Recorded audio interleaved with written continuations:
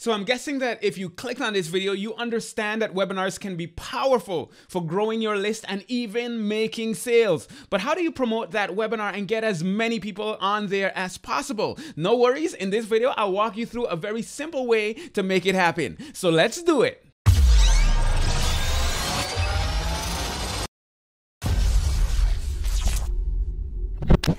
Hello, hello, hello, and welcome to Leslie Samuel TV, where I help bloggers master the tech they need to create awesome content. If you haven't already, make sure to hit that subscribe button and tap that bell icon to be notified whenever I have something new for you. All right, so webinars can be great for growing your email list, but here's the thing to do a webinar generally takes a number of things. First, you need a webinar service that can cost anywhere from 50 to hundreds or even thousands of dollars every month, depending depending on how many people you want to be able to attend. And then the problem is that most of these services don't, you know, have a very nice landing page to get people to sign up. Now, this can be a huge headache to make sure it's all set up where you can get them to sign up, get them on your list, and then use your email marketing service to increase the chances that they'll actually show up. Fortunately, I'm gonna show you a, a very simple way to set up a webinar funnel with all the essential elements using a total of one service. Yeah, I said one service.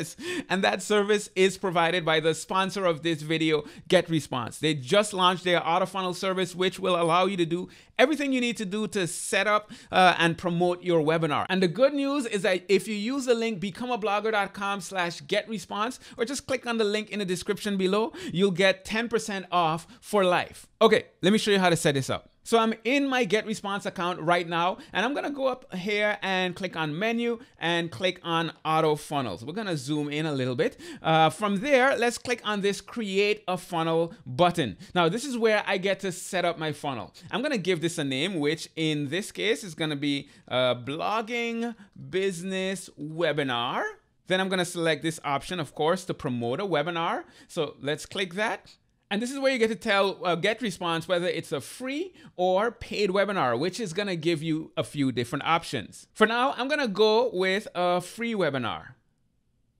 So now let's enter a title. In this case, I'm gonna say how to build a business with a blog. From there, I can add some of the basic settings by clicking on here. You can choose a date and time for the webinar. I'm gonna go ahead and select for next Thursday, and I'm gonna put this here at 6 uh, let's go with PM. I like to do my webinars on Thursdays because I'm able to spend Monday through Thursday promoting the webinar to get as many people uh, as possible to actually sign up. Now, this is where you can set a lobby message or you can type in an agenda. Basically, when people show up live and before the webinar actually starts, this is the info they're gonna see. So for now, I'll put something simple like, get ready for some awesome tips on how to build a business with a blog. Now, of course, I can choose uh, the default thank you page uh, to send people at when they register. I'm gonna go ahead and stick with the default, but you can also go with a specific landing page you created with GetResponse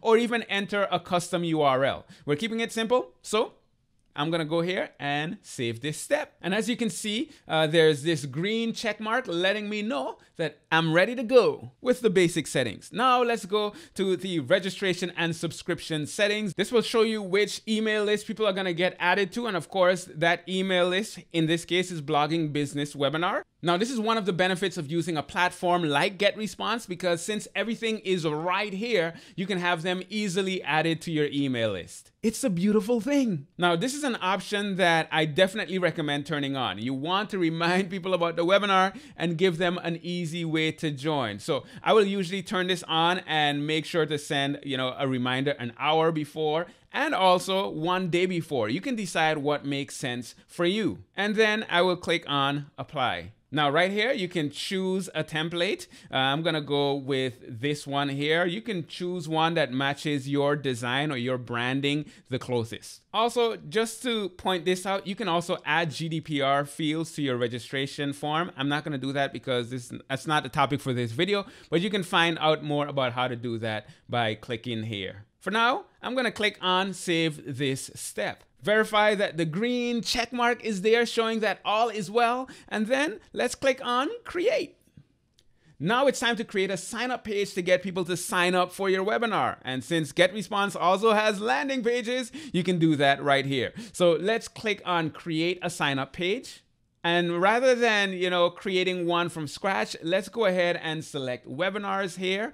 And you can see that they have a, a, number of different templates. Now you can choose any template that you want, but I rather start with something that was specifically made for webinar. And actually, I like this first one here. It says uh, five coaching mistakes to avoid. Now I'm not doing coaching mistakes, but I can use this template and modify it to suit my needs. Now, just as a side note, this auto funnel feature feature is brand new and you can expect to see more templates added over time. So for now, I'll select this template and then I'll give it a name. And in this case, I'm gonna call it a blogging business webinar and then click on next step. And now this creepy little monster is gonna do its job and now it's asking me which webinar it's for. I have the right webinar selected, so I'm gonna click on add webinar. And then now I can customize so much about this page and I'm not going to show you everything, but if you want to know more about how to customize landing pages, I'll link to a video in the info cards about that. For now, let me show you a few of the main things. First off, to change any of the text, you can just double click on it right there and change it. So like here, I can say instead of your coaching business, I could say blogging. Also, I'm gonna scroll down here uh, to the countdown timer. Of course, I wanna select this and customize that. So I'm gonna go ahead and tap on that and click on customize. Then I'll select the date and time. So that was next Thursday at six o'clock PM.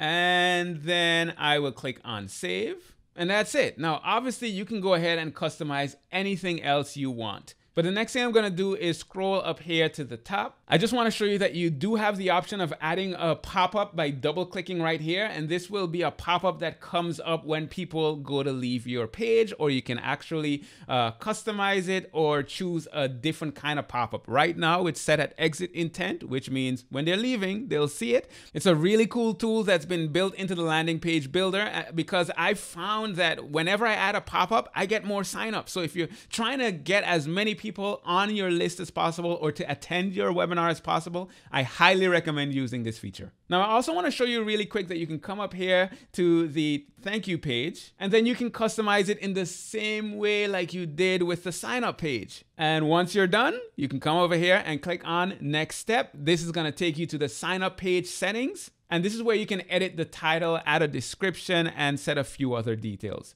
For now, I'll scroll to the bottom and click on publish.